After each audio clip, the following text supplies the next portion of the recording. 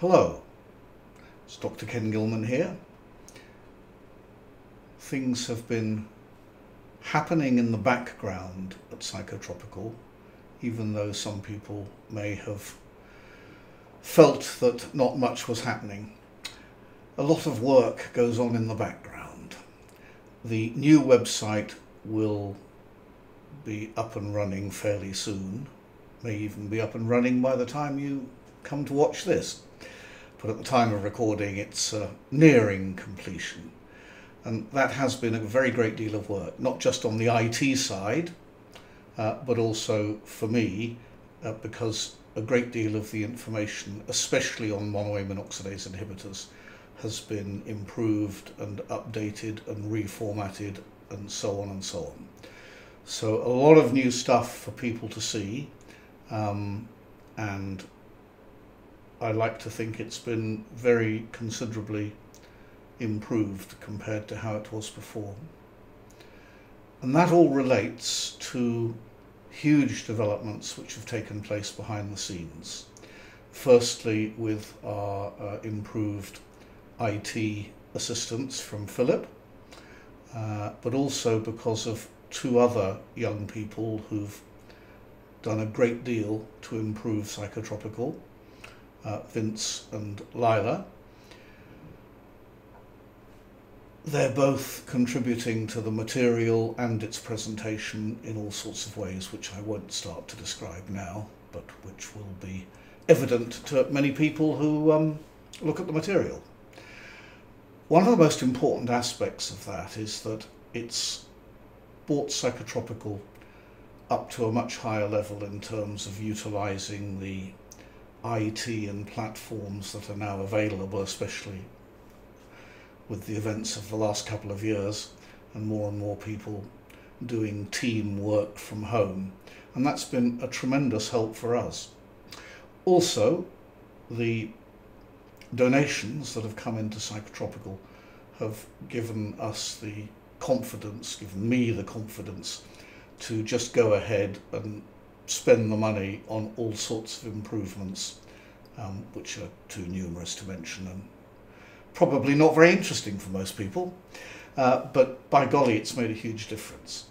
And the momentous and exciting event that's occurred and is almost signed, sealed, and delivered as I speak is my international expert group uh, driven by Vince, produced a new and the first ever guidelines for the use of MAOI drugs. And the reason we've done that is because no such thing has ever existed. There has merely been rather half-hearted mention of MAOIs in guidelines for the treatment of depression and or the treatment of so-called treatment resistant depression. Uh, I would rename treatment resistant depression as we haven't yet given the right treatment yet depression. Um, it's a nonsensical category in my view. But lots of my views aren't mainstream. Still, people will catch up in the end, I expect.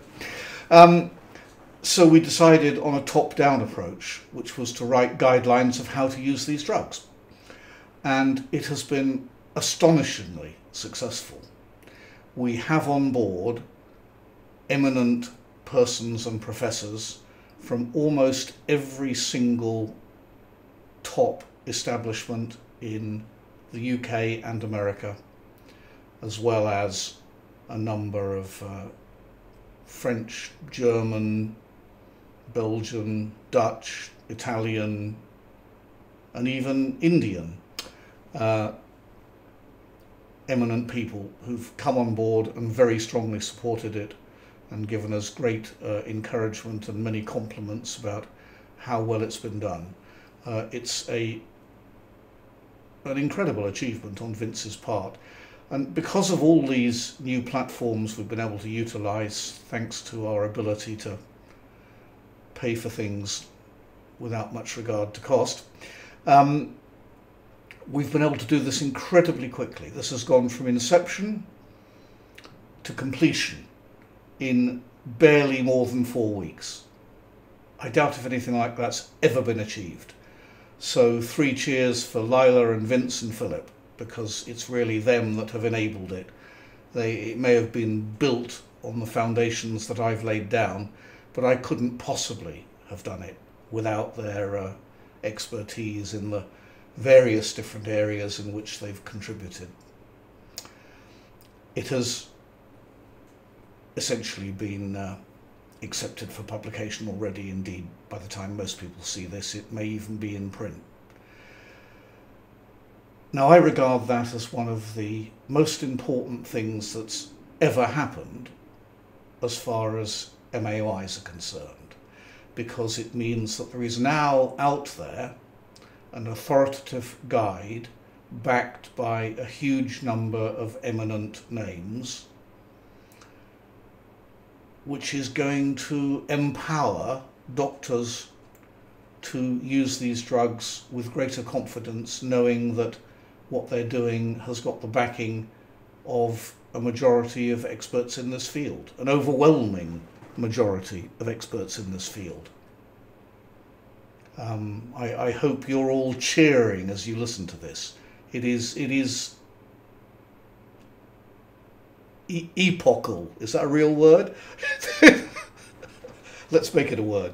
Um, it, it, it, it's it's. I'm speechless. it's fantastic. Uh, so I think that'll do more to enable patients to persuade doctors to give them MAOIs than any other single event in the 50 year history of the use of these drugs. Right, so it gets better. There's more. Wait, there's more. um, the support and enthusiasm for this has been so good. I've decided to progress again empowered by the donations that people have made, to go ahead with the plan I had before a couple of years ago to get the World Health Organization to put these drugs on the essential medicines list. I won't explain that in detail.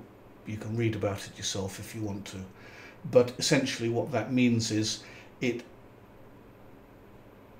creates I won't say an imperative, but a, a strong reason for governments in many different countries that are related, you know, um, come under the WHO umbrella to make these avail- drugs available for their population. Indeed, the WHO blurb actually says something about human rights. Uh, it's a human right to have access to effective medical treatment. So if the WHO agree that these drugs should be on the essential medicines list, and I believe our case is strong to persuade them to do that, then that will put a great deal of pressure on gov governments in many, many countries all over the world to approve these drugs for the use of their citizens. If we could achieve that, it would be by far the biggest change in matters relating to MAOI drugs that's ever occurred. I think if we succeeded in doing that, I would die a happy chappy, as they say. Achieving that is going to involve dollars, and we're going to be launching a major donations campaign. Uh, we're setting up a completely separate charitable trust, uh, quite separate from psychotropical um, which will have defined aims in relation to achieving this objective. And we're going to be uh, setting up mechanisms to get donations to uh, make that happen. We've already had some pledges, needless to say, from people who know what's going on. But I'm absolutely sure it'll happen. I'd be 98%, more than 95%, 98% sure we're going to succeed. So watch this space, as they say, because uh, we're going to be announcing uh, how people can make donations. Obviously, there'll be a bank account linked to the official trust fund, and that will pay the considerable expenses uh, of a researcher dedicated to carrying out this task. We're talking $100,000 in the first year probably. And it may be more than a one year project, it may, may stretch to a two year project. So we're talking about raising very substantial funds to achieve this. But I'm quite sure we will succeed. There will be another of, uh, there will be various other sort of peripheral activities related to bolstering that effort, including me making more videos to educate doctors and patients and all that sort of thing. Uh, and we'll probably do um, continuing medical education material uh, for official inclusion in the European and American uh, postgraduate educational programs. We're working on that already. And I really don't have to say much more to give people who've got a vague idea of what this sort of thing entails um, a clear idea that there's going to be a very great deal of work uh, to achieve all of this. It, it's not it's not a five minute job, but I think we're going to do it. So we we've appointed a full time researcher to manage this. That's Vince, uh, and he's already achieved significant steps down that pathway. So I shall wind up my little uh, spiel there. I can't see the clock on this to see how long it's been running. Um, thank you for listening. Uh, what more can I say? Watch this space. Goodbye for now, and I hope some of you will be able to support our uh, continuing efforts financially. Bye for now.